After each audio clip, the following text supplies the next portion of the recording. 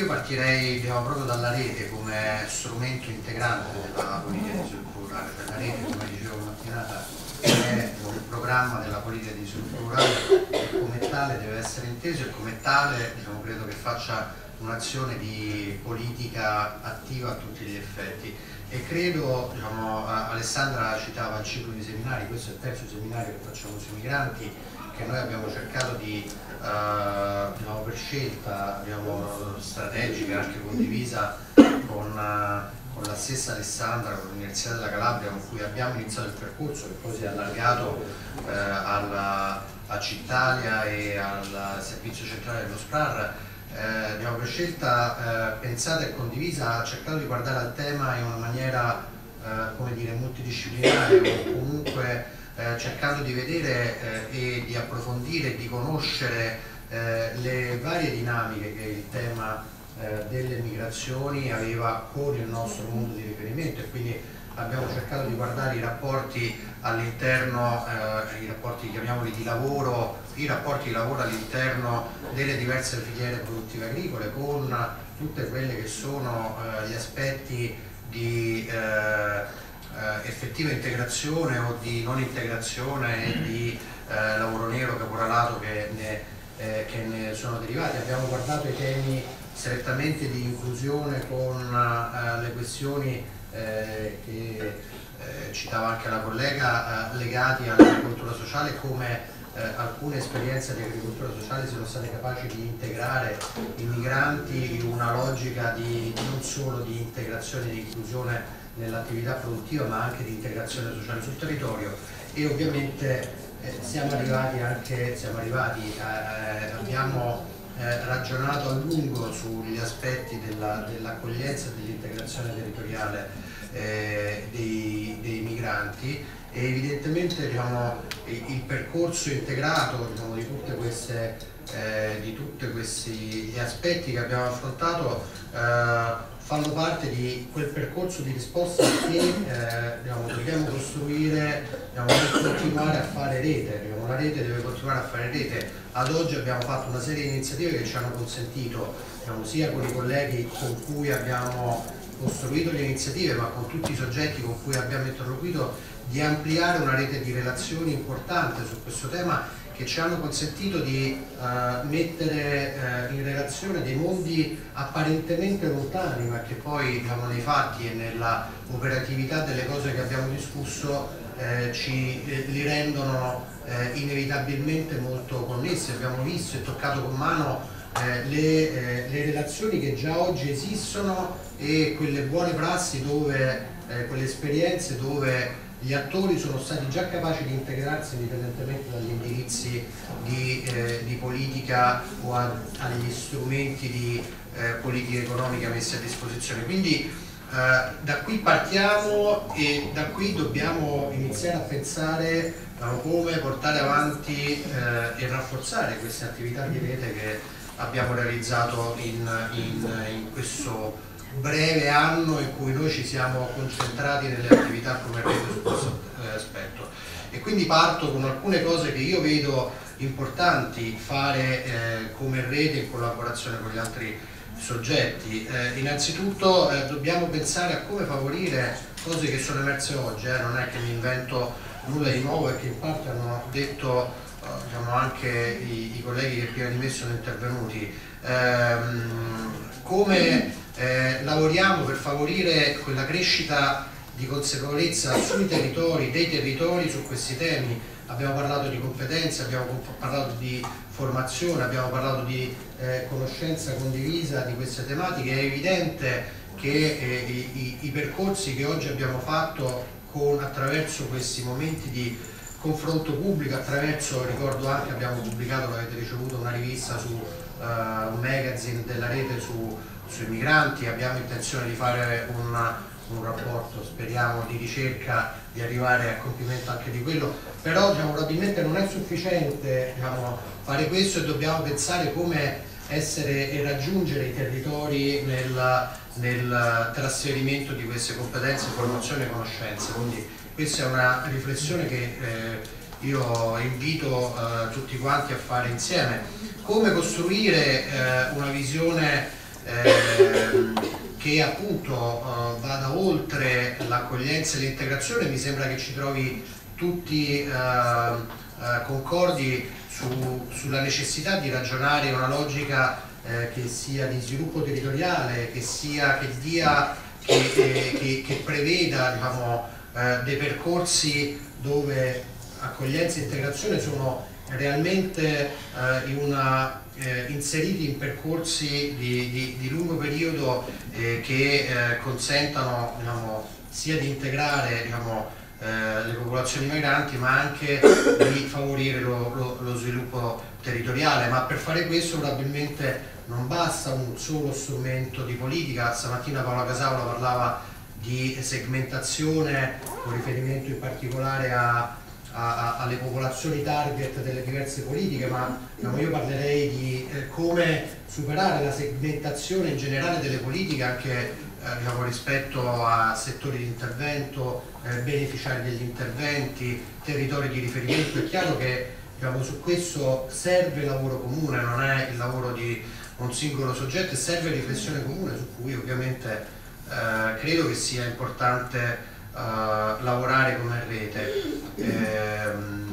poi sulle politiche, politiche segmentate eh, ritornerò diciamo, parlando anche un po' più nello specifico di di, di come superare in parte la, la, segmentazione, almeno dal mio punto di vista. Uh, sicuramente la, la, rete può anche uh, farsi carico, parlo la rete in senso lato, non soltanto la rete come rete rurale nazionale, quindi una, una rete composta da, da, una pluralità di attori, di pensare, riflettere come progettare e accompagnare iniziative pilota no? che, eh, che, possono nascere sui territori perché chiaramente diciamo, non, eh, è importante anche sperimentare, è importante eh, accompagnare dei territori no? in alcuni percorsi eh, creando e mettendo a disposizione eh, le, le, le, tutti gli strumenti che possono eh, essere necessari. Ovviamente eh, diciamo, in questi percorsi concordo con Alessandra dell'importanza anche di, di continuare no, nella, nella, conoscenza in termini oltre che di ricerca ma anche di monitoraggio e valutazione di quelle che sono le esperienze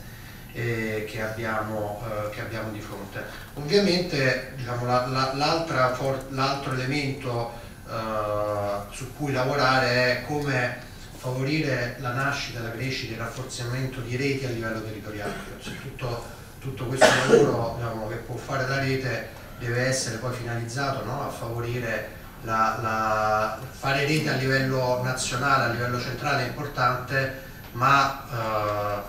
la, la, la, risposta alla segmentazione a mio avviso poi può arrivare fondamentalmente dal livello territoriale, devono essere le reti territoriali diciamo, capaci anche di sfruttare le opportunità o eh, diciamo, i vincoli eh, o superare i vincoli che talvolta eh, le, le, politiche segmentate eh, mettono a, a disposizione. E quindi sicuramente noi possiamo lavorare immaginando no, di sensibilizzare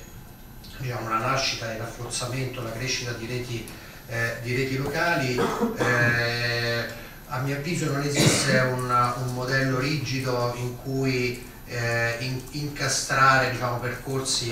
eh, di sviluppo. Eh, sicuramente queste reti, diciamo, credo eh, è stato detto diciamo, da più parti, devono prevedere un ampio coinvolgimento degli attori territoriali, devono essere in qualche maniera inclusive direi eterogenee nelle loro competenze e ruoli perché eh, eh, diciamo, è importante mettere a sistema le competenze e i ruoli di tutti gli attori che lavorano sul territorio. Eh, più volte diciamo, nelle, anche nelle relazioni di sintesi è uscito fuori eh, l'esigenza di mappare eh, le, le, i punti di forza, eh, i fabbisogni del territorio, le, i fattori no, su cui puntare per lo sviluppo del territorio, però diciamo, è anche importante diciamo, non reinventarsi ogni volta la lettura del territorio, quindi sfruttare tutte le competenze che, eh, lo cito un po' di esempio questo, che eh, soggetti hanno già maturato in questo campo, ovviamente condividendole, arricchendole no, con, eh, con altri soggetti, però la, la, messa a sistema delle competenze eh, e, e, dei ruoli dei diversi soggetti e dei diversi attori credo che possa favorire la crescita no, su un territorio di una visione eh, condivisa del, dello sviluppo di, di, condivisa e inclusiva dello sviluppo di quel, di quel territorio. Eh, ovviamente come, come, non esiste un modello fisso non esiste una, un, un, leader dire, fisso diciamo, in, questi, in questi percorsi, credo che ogni territorio abbia le sue caratteristiche, abbia dei soggetti che sono più pronti di altri a, a fare da guida, a prendere la leadership di un percorso di questo genere. È chiaro che, diciamo, lo, lo, ha detto in, nella sua relazione iniziale Katia e, e è stato ripreso eh, anche dalla collega dell'Anci, eh, è chiaro che i comuni hanno un ruolo centrale, alla fine i comuni sono no, nella maggior parte del, del, dei, dei, eh, dei, percorsi eh, che, che, che, vedono poi i territori protagonisti di, di iniziative di varia, di, di varia, natura, però è chiaro anche che diciamo, non sempre i comuni hanno le forze per, per essere loro in prima, in prima battuta i protagonisti. E quindi abbiamo la fortuna sui territori di avere in alcuni casi altri soggetti uh, i GAL, le Ollus, i parchi, eh, diciamo, in, uno dei casi era presente anche l'azione di, di, un parco, ci sono diversi territori che possono no, in, in, misura eh, attori nei diversi territori che possono eh, diciamo, avere diciamo, capacità di, eh, di, di eh, orientare e di prendere dire, le fila di un percorso di sviluppo che sia uh, il, il, più possibile un percorso di sviluppo sostenibile e un percorso di sviluppo sostenibile è, è a nostro avviso anche un percorso inclusivo diciamo, delle, delle, eh, delle, popolazioni migranti. E, ehm, quale ruolo delle, delle politiche? Diciamo, è chiaro che eh, in particolare eh, eh, io do, do, devo pensare alla, alla, alla, politica agricola comune, alla politica di sviluppo rurale perché è quella che conosco meglio, le altre le conosco molto, molto meno. È chiaro che diciamo, eh, però diciamo, tutte le politiche, eh, bisogna pensare a delle politiche più integrate, no? è un ritornello che ci ripetiamo eh, da quando lavoro sulle politiche, quindi da, da molti anni, eh, però poi nella, nella pratica tutto questo è molto complesso perché le politiche hanno regole diverse, perché le politiche hanno tempi diversi, perché le politiche hanno beneficiari diversi, perché sono politiche calate dall'alto, no? perché è difficile per quanto no, desideriamo tutti quanti delle politiche pensate dal basso, poi in realtà nel momento in cui si scrivono no, i, gli accordi di partenariato o i programmi di sviluppo rurale o i programmi operativi regionali pensare no, del, delle politiche che tengono effettivamente conto di tutto questo. Quindi di questo dobbiamo tener conto quando diciamo, ci rapportiamo alle politiche e appunto, come in parte ho detto anche prima, credo che eh, diciamo, un pezzo di questa segmentazione che sarà naturale e difficilmente superabile eh, possa avere delle risposte dai territori, eh, i territori che devono essere eh, capaci anche di adattare diciamo, diversi strumenti di politica e uh, metterli insieme e di fare delle alleanze sui territori perché diciamo, se io diciamo, appunto, quando penso alla politica di sviluppo rurale e ai suoi beneficiari no, e penso che eh, no, ci sono delle regole scritte, gli agricoltori, eh, i GAL eh, e quanti altri possono accedere alla politica di sviluppo rurale e non guardo diciamo, a quello che che può derivare invece finanziando attraverso una politica di, di Fondo Sociale Europeo, di FESR, finanziando un'opera pubblica o una onlus per altre iniziative non lo penso in maniera integrata, ovviamente non creo diciamo, quel sistema che inevitabilmente eh, invece deve, deve favorire diciamo, un percorso integrato, però è difficile farlo dall'alto, eh? queste cose credo che si debbano fare sui territori. È chiaro che dai territori devono arrivare quelle indicazioni e, e, e, noi dobbiamo essere pronti a prenderle lì dove gli strumenti sono proprio pensati male, dove non funzionano, dove poi alla fine i beneficiari sono tre perché diciamo, le, le, i bandi sono scritti male o non rispondono alle esigenze. No, questo è chiaramente diciamo, una responsabilità del centro no? di diciamo, accogliere tutte queste cose qua, eh, risistematizzarle e chiedere che poi le politiche su questo eh, cambino. E per quanto riguarda la, la, la, la PAC e la politica di sviluppo rurale, io diciamo, lo, lo, lo, sto dicendo da diverso tempo, sicuramente come dice Serena la, riforma eh, quantomeno dà un indirizzo politico, eh, la comunicazione e la, e la, proposta di riforma dà un indirizzo politico perché comunque diciamo, il, il, tema delle migrazioni entra diciamo, a, pieno, a, pieno, titolo dentro un regolamento settoriale come quello della PAC, però ehm, la PAC, in particolare la politica di sviluppo rurale, è diciamo, una politica di sviluppo territoriale e quindi al suo interno a mio modo di vedere già tutti gli strumenti eh, e tutte le misure che sono necessarie per fare diciamo, una politica di eh, sviluppo territoriale che abbia diciamo, tra i suoi eh, tra un pezzo di sua popolazione target anche eh, i migranti. Non, a mio modo di vedere non bisogna inventarsi niente, non bisogna inventarsi nuove misure, non bisogna inventarsi nulla di, eh, di particolare. La politica di sviluppo rurale prevede eh, investimenti nelle aziende agricole diciamo, dove diciamo, i, eh, i cui beneficiari sono quelle aziende che poi utilizzano lavoratori eh, migranti, non, non, non, si tratta di sottrarre risorse e spostarle in qualche altro capitolo destinato, si tratta sicuramente di ripensare delle cose, no? ripensare diciamo, magari anche in maniera, diciamo, in alcuni casi eh,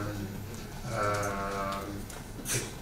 che, possono creare diciamo, delle, delle, rigidità eh, all'inizio della loro ripensata, no? appunto eh, facevo riferimento agli investimenti aziendali è chiaro che pensare degli investimenti aziendali eh, la cui priorità di accesso, il criterio di accesso è eh, diciamo, un'azienda agricola che abbia una certificazione di qualità, penso alla legge sul lavoro agricolo di qualità o diciamo, qualche, eh, la, la, la, il rispetto delle regole di gioco, del gioco rispetto al, al lavoro,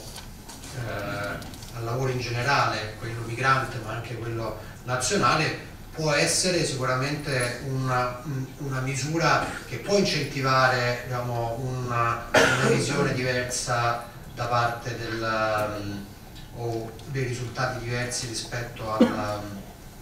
alla, alle problematiche connesse all'immigrazione. Adesso mi sono focalizzato sugli investimenti delle aziende agricole, ma diciamo, non volevo fare questo eh, in realtà diciamo, appunto, gli strumenti esistono e sono eh, a completa disposizione, ci sono le misure di formazione, ci sono le misure di consulenza, ci sono le misure per le infrastrutture e per i servizi alla popolazione nelle aree rurali, ci sono diciamo, gli interventi che possono portare avanti i GAL e eh, così come ci sono una serie di altre misure eh, eh, di, di cooperazione di integrazione eh, di interventi a livello territoriale che sono no, pienamente adattabili alle esigenze di sviluppo e di inclusione sociale, su cui ovviamente diciamo, l'investimento che deve venire da parte nostra è creare diciamo, ovviamente la sensibilità verso l'utilizzo eh, di queste misure anche in maniera eh, più ampia e ovviamente anche abbiamo da parte dei territori di utilizzarle e di saperle utilizzare, di averne conoscenza per poterle utilizzare eh, nella, nella, direzione corretta. E, e, e ovviamente diciamo, qui diciamo, riprendo alcune cose appunto eh, su cui abbiamo ragionato oggi e su cui eh, potremmo e dovremmo continuare a ragionare in futuro. Eh, l'infrastruttura SPRAR che indipendentemente da, da, dalla, dalla, dal, dai decreti di riforma esiste e deve continuare a esistere nelle competenze della rete di, di, eh, che, che, ha costruito è, è, fondamentale che impari a conoscere ovviamente gli strumenti che in parte non nel territorio già si conoscono che possono essere strumenti di, di operatività per continuare a portare avanti progetti di sviluppo territoriale, rurale, inclusivo che, eh, che i territori eh, devono inevitabilmente eh, saper cogliere. Mi fermo.